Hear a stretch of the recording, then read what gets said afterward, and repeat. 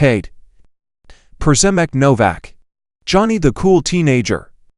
And others. Somebody find that Happy Tree Friends is currently unavailable on Amazon Prime Video. I am so mad at him. I want him back. Please.